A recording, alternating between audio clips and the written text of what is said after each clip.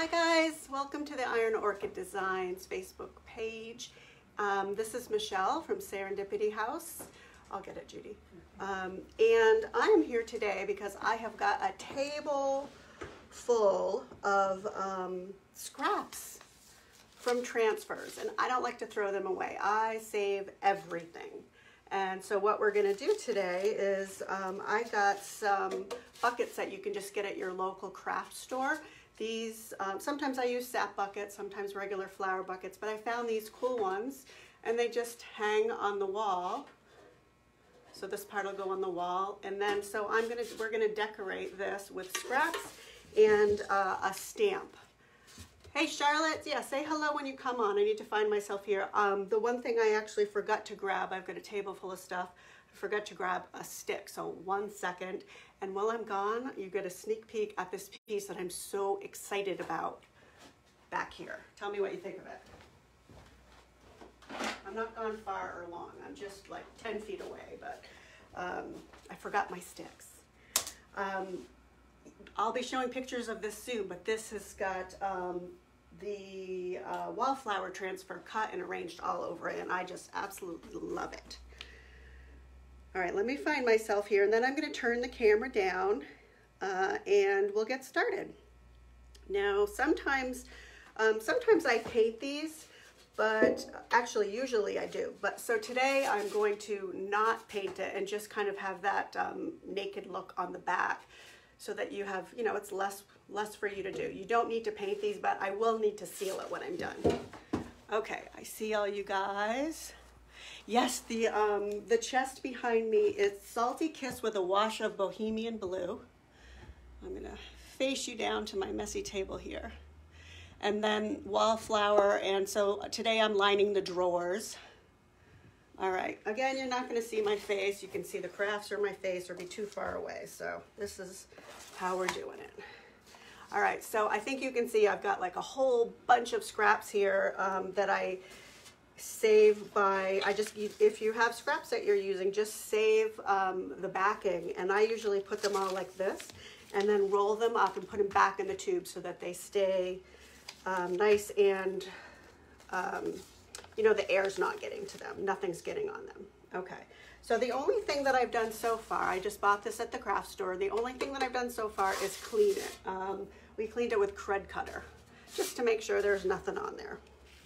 And I'm actually, I've got butterflies and ferns and I've got a whole bunch left from the uh, chest behind me because I had to use two transfers and so I actually only used one and a half. So this is a piece that I'm going to put along the bottom that is from uh, the new transfer called Wallflower. And I think I can do this upside down. Um, so what I like about these are that they can go right to the edge and they look like they're coming off, um, coming in from the edge. But what I'm going to do is there's a little tiny piece on the bottom here or on the side. And so this will go right up against my edge. I'm actually gonna cut that piece off so I can get it nice and tight against this. Hi Shayla, hi Patty, Robin. Um, the chest behind me that, um, hi Liza. Um, the chest behind me, it was painted in DIY paint Salty Kiss. And um, yeah, so today I have to line the drawers. Look, my arm is shaking here. I have to line the drawers and um, do a little something to get the drawers to fit in tightly. And then um, I will probably do the photo shoot on it tomorrow. I'm super excited though because um, I haven't worked on a piece in a while where I've been just totally in my zone and um, I really enjoy doing this piece. All right, so this part is where I'm gonna apply the transfer and then the stamp. So I'm gonna put it right down on the bottom and right to the edge so it looks like it's coming from the edge. So you take off the backing. Now doing um, buckets and aluminum and all of that has been pretty popular. So have, have any of you done this, all these kind of crafts already with the transfers. I'm curious what other people do with their transfer scraps. Hi from New Zealand. How are you? Thanks for watching. It's crazy how far and wide we reach everybody. All right, I'm using the stick that comes in with a transfer if you haven't used these before. And I'm gonna do the same thing that I do um, on my other pieces. I'm gonna just secure it on, but then I'm gonna find a bubble. And we're gonna ride the wave. Now this, here's one thing if you haven't done a curved piece. Because it's curved, obviously it doesn't fit flat. So even though I put this right to the edge, because of the shape of the bucket, it didn't actually go to the edge. But that stuff that you can, just if it bothers you, that you can go ahead and disguise by, um, I'm going to stamp over it, but you can put another little piece of a transfer there. Uh, if you're painting, you could put your little piece of paint there. All right, it's going to come off real easily, but we're going to need to be sure. Look at that. I'm going to put my stick down because I'm holding it in place, but I've got the air bubble and I'm just pushing it with my hand right now. You can really see the color changing on that as it comes up. Of course, it's gonna stop as soon as I hold this up to the camera, right? So how many of you um, have cool projects that you've done with your uh, transfer scraps? I wanna know what you guys all do with them. You save them, I'm assuming every little bit is worth saving. Coasters is another fun thing that I done with them. You just have to really seal. Okay, so that's on there. Because I pushed it some off with my hand, again, you want to make sure to go back and rub it all down. Make sure it's really sticking well. Make sure that you have, that you pick up any bubbles, smooth them down because your main concern right now is that you want to have the best contact possible between your transfer and what you're putting it on. Whether that be paint or metal or steel or glass. And this is going to be sealed. Okay, so there's the beginning. I like it against this silver here. Can you hear me good, Beth? Hey, Lynn, how are you? Um, all right, I've got some ferns and butterflies. Let's, let's cut out, let's see, over here I think I'm gonna put a little fern and then a butterfly and then we'll make another, or we'll stamp it and make another one. This is quick. Um, this is the perfect um, kind of thing to spray seal. I think I don't use spray sealers often, but I think that a spray sealer would be great on this particular project. Usually I'm doing furniture and I wouldn't spray spray seal furniture, so. All right, so I'm just laying that right over. Now the smaller pieces, because they're smaller, they're not gonna push on with your hand like the one I did a minute ago, because really you're pressing on these smaller area pieces and they, it really needs to, every bit of it needs to be rubbed really there we go. But it still comes off easily. Whoops, I missed a piece there.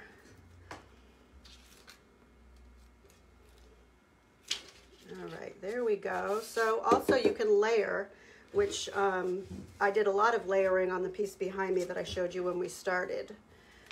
And um, I love layering. It just gives a nice deeper effect. Here, look, I'm gonna layer right over. Here's a fern. I'm gonna layer it right over that. It gives more depth when you can do it. I like layering the words on this particular one instead of using the transfer for words. When I'm done, we're gonna use um, the kindest regard stamp on this with ink. Now I've done this before on um, a sample board, some art, and a piece of furniture. And so the trick to doing that is before you do a sealer, if you're wiping it on, I usually, I wait at least a day, at least 24 hours, so you're not picking up your ink and blurring it. It just needs time to, there. So this is, this I just layered right over the top of it. And you can keep doing that. All right, so should I do another one? I'm gonna put something here because this will be for sale. I'm sure that won't bug anybody. So let's find a piece. It's the kind of thing that would bother me just because I did it. because I didn't do it on purpose. All right, we're gonna put another fern piece there. Now, I put these in the shop. I like to put bundled lavender or cotton in, the, in them for sale. Um, but they, or hydrangeas look really pretty if you've got them at home.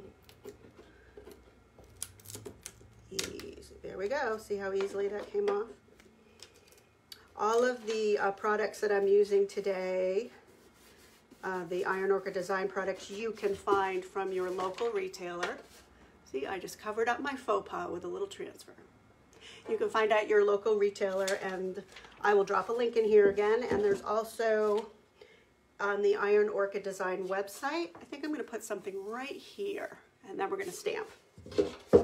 On the Iron Orchid Design website, there's a Find Your Retailer tab and you can go right to that and you can put in your zip code and find somebody that's close to you um, for a brick and mortar shop, or you could look to see uh, who has websites online, but that's all on the ironorchiddesigns.com, and I'll drop it here. All right. I get lost in this and I want to just keep doing more and more and more. Like I could just, it could just be never ending. I love that layered. I love how it's building up. Hello from wintry Idaho. What kind of weather are you getting there? Oh, sorry, I didn't see your question. Um, yeah, DIY paint is chalk and clay based. I can answer questions that I miss after we're done, after I'm done, so I can focus on. All right, I think that's good. Now, here's what we're gonna do. All right, so this is the kindest regards stamp. See, I need to drop my trash on the floor because now I have all this extra stuff. Here, there we go. now I can't see it. All right, this is the kindest regards stamp. It is a letter, it's script. I love layering this over or under a lot of the projects that I do. Um, and for this one, I'm going to use some of the Iron Orchid Designs uh, Decor ink on it. I've got it already haven't decided what color. I picked up the three different, two blues and a black, and I've got them in the ink pads already. Um, let's try the blue. It's the new Oceans Blue. And so it's a really pretty color blue, and I'm pretty sure my pads are loaded up well. So here's how we're gonna do this. Um, first of all, I don't need to ink the whole thing, so let me just see how this is gonna fit here, or where I wanna put it. Oh, this might drive me crazy. You know how when you turn it, it gets all, it doesn't, it doesn't go straight because of the curve. What I just said, that might drive me a little nuts. All right, let's see. So I want it down lower so that the whole thing gets some writing. So I'm gonna do this whole middle section I'm gonna ink up. Or from here down, I'll do the bottom section. All right, so when you have your ink on your ink pad, all you do is I hope it's juicy enough. It is, okay. I can see it going on. I might put a little bit more on there actually. One sec, let me grab my blue ink. I like it nice and juicy. Where is it? Green, black, you're kidding me, you're kidding me. Ocean's Deep, here we are. Okay, so here's the, here's the uh, Ocean's Deep ink. And I'm just going to put a little more on because it should really be nice and juicy. I love the kindest regard stamp is this stamp and the birds, blossoms, and branches is the one that I use the most. It just see they seem so versatile to just layer and add to things, don't you think, Canice? All right, so I'm just dropping it in. It's soaking right in.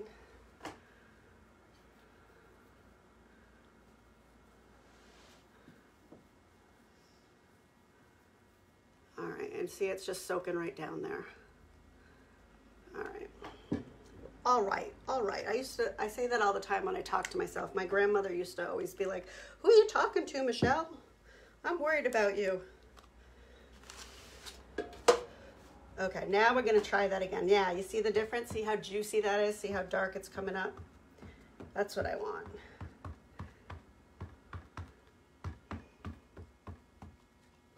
Do not want though, what is a hair? I'm getting a little bit of uh, ink that I'm gonna wipe off just, if you do it quickly like I just did, then you get some here that you don't really, you don't wanna put on your project. So I'm just gonna get off. Okay, here we go. So this, by the way, is one of the stamps that I leave on the backing. Um, this still has the hard plastic on the back of it. I know there's always a lot of questions about that, which ones to take off. Um, but this isn't a stamp that you ever really need to separate. So leaving it on the backing, I think makes it a lot easier to stamp with. All right, I'm gonna try to center this.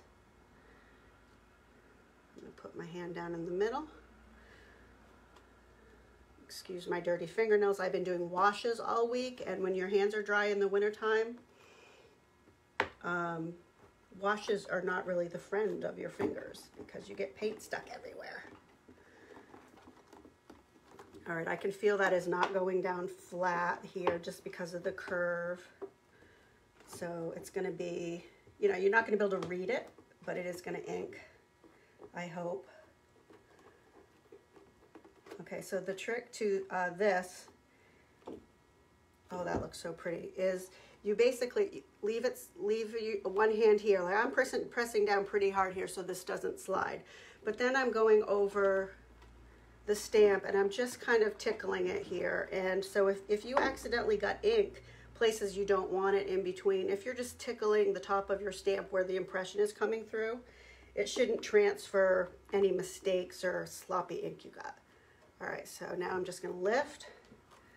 I got a little double vision there, but it just adds a little kind of all over you finish this design, see?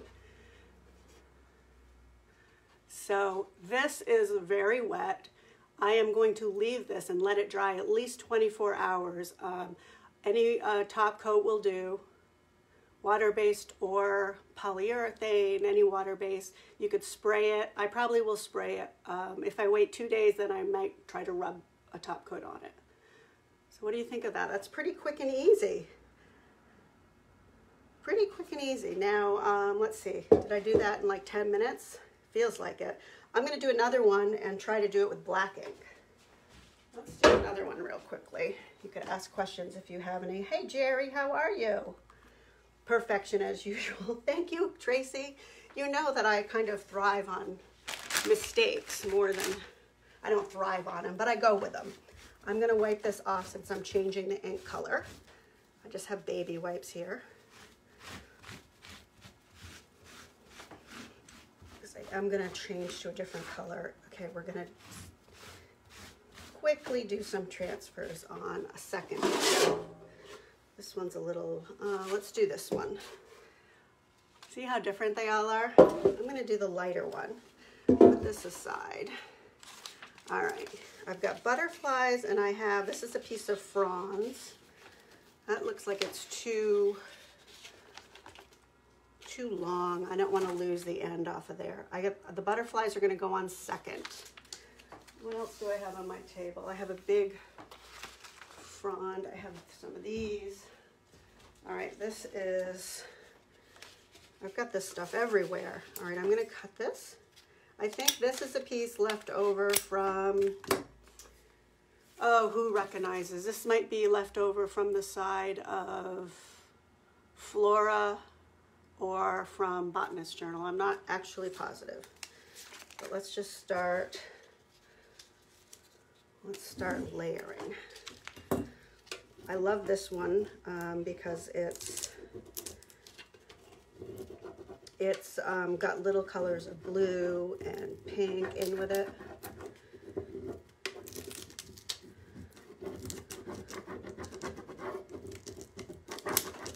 All right, see it comes off pretty easily. There's one. see, since I don't have more of it to fill the whole thing, I'm gonna off center it. I'm gonna put this off to the side, off to the other side. There we go. You can see it coming right up. Hey Karen, how are you? I love the blue ink too. It looks, um, it was kind of hard to see on that, but when I've used it over white, the Ocean's Blue has such a pretty shade. Um, and if you guys haven't ha- gotten the new inks yet, we also have empty bottles, um, and we're trying to collect recipes because you can mix your own colors with the new shades that we have, which is great. Because then, you know, if you want like more of a teal color, I'm not, I can't uh, say a recipe right now because I have a bad memory. I would have to look it up. Um, but so if you come up with a good color recipe, share it with us. And I think we're trying to keep those somewhere so that we can all just benefit off each other's knowledge. Sometimes there's a little piece that's stubborn for whatever reason. There it is.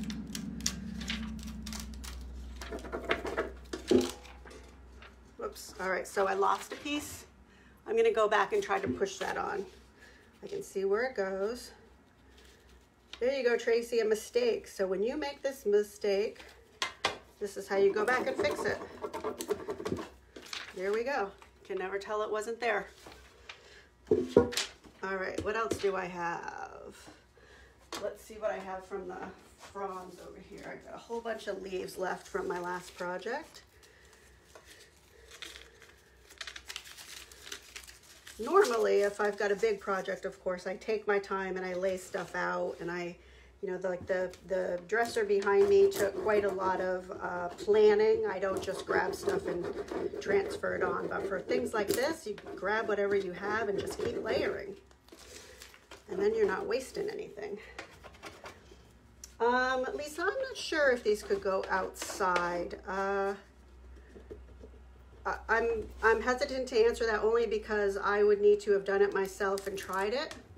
Um, I think, uh, yes, I would put them outside, but I would put them in a covered area. Um, you know, anything like this in the weather, if it's not protected, I, you know, there's no guarantees that it's going to hold up. And of course, I'm in snowy New Hampshire, so it's wet and snowy and yucky here. So there's things that we we get extreme temperatures. Oh, that looks, I love the three-dimensional look of that fern. That's from the new fronds transfer. There's tons of little things like this to cut out. I think I used the other half on something else already.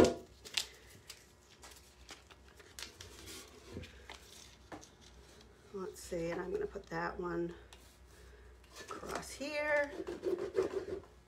Making it up as I go along, you guys.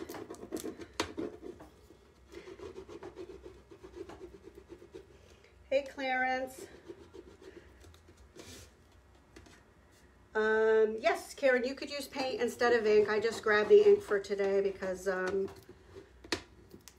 it was easier because it's in my ink pads. When I use paint, I usually apply with a, a brayer you know, I put a little bit of paint, a dollop of paint down on a piece of the acetate that we have and roll it with a brayer. So it was actually just quicker for me to grab the ink. And of course, if you use paint, you can pretty much seal that right away. I'm only saying wait to seal because of the properties of the ink.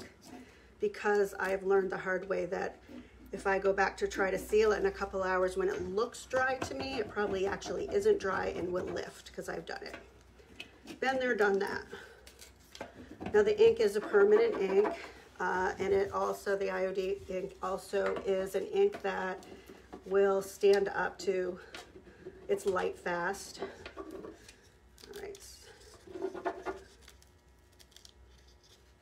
All right. Slowly lift something else in there. I guess this one's going to be mostly green. Do I have any more?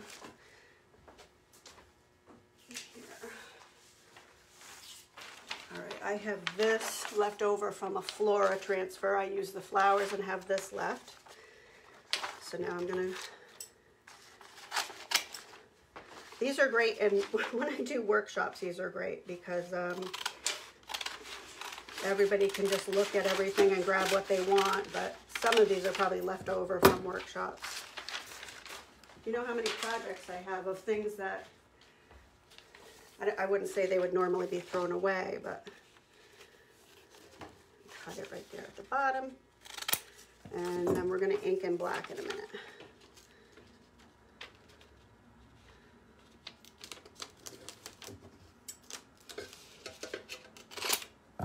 There we go. So I'm going right over the ones that I put on before. It's going right over one of the ferns or fronds. Oh, good. I'm glad I answered your question about the ink, Karen.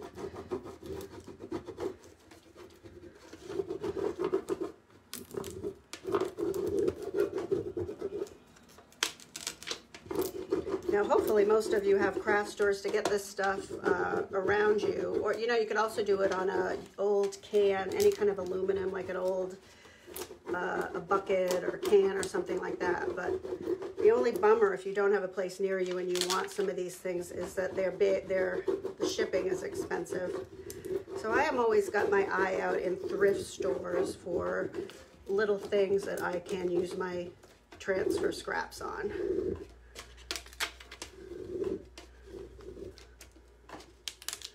There we go. There's that bubble.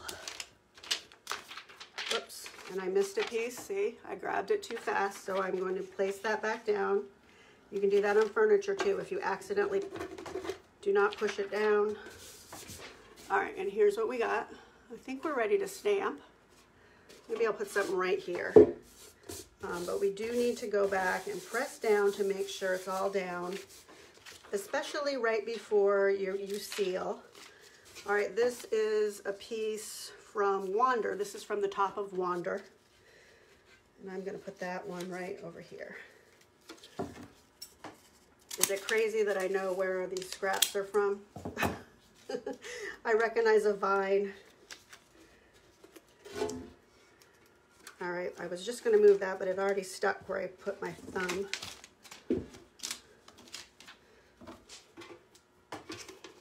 I've walked out with little scraps of these transfers stuck to my shoes or my pants before. I think I have a pair of flip-flops where it's got quite a lot of transfer stuck on the bottom. Okay, there we go. Now we're gonna stamp. So we're just gonna make sure everything's nice and flat. It is. All right, I am going to grab uh, the black ink this time. Let's see how wet it is.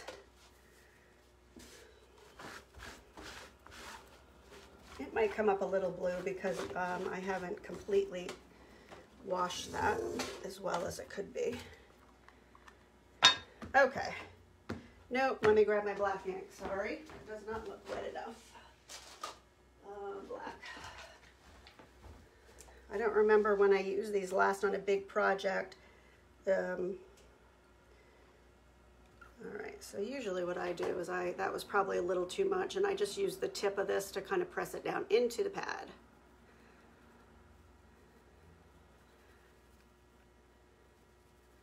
And it'll hold it, nothing's gonna drip. The only thing you need to be careful of, and it looks like I maybe did it with this one, is when you're initially putting your ink on, you don't wanna get it into this well right here.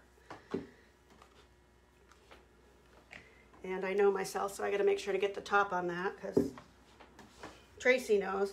I'll dump it. All right, here we go. Ah, uh, yeah. Nice and juicy.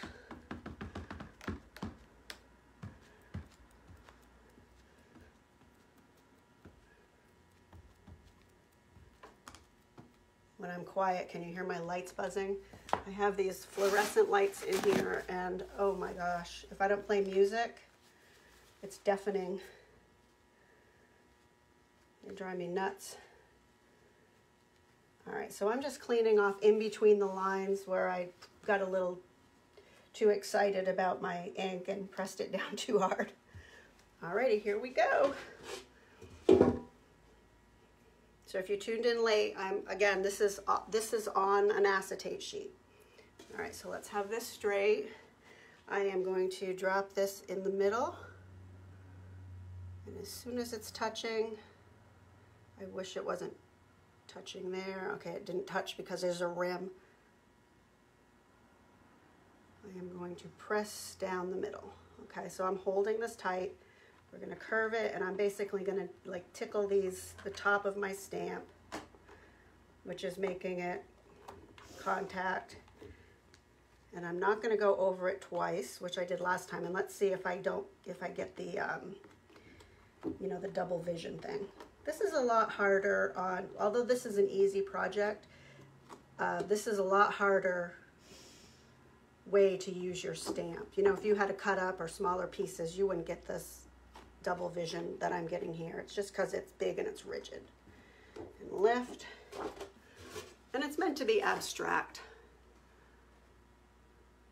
All right, what do you think of that? That's, that's dark, yeah. But it, it's, it's hard to bend it, but I'm happy with them. I love them. I think this was a really fun, um, quick project. Let me lift this up and just say goodbye and show them to you. So these are the two that we just did these. I don't know what time it is. I never know what time it is. In half an hour, I just did two of these. They'll be quick and easy quick and easy to uh, seal. A couple of days, spray sealer. All right, and then you hang your flowers in them. Fun project. Don't throw away your scraps. There's always something to do with your scraps. Um, head on over to my page, Serendipity House LLC. Give me a follow. I would love to see you there. Um, and also, if you're looking for a retailer, I'm going to drop the link to our retailers right below here. And if you're watching on replay or you have a question that didn't get answered, go ahead and ask because I'm going to go look in here and I'll make sure to follow up and answer questions. And stay tuned for the, this piece in a couple of days. I'm so excited to uh, photograph it. I really had a super time. That is the Wander transfer on there cut up and Le Petit Rosier, which is the transfer that has um, the French poem on it. So um, thanks, you guys. Be safe. Have a great day. And um, I'll see you guys next Wednesday at 1 o'clock. Bye.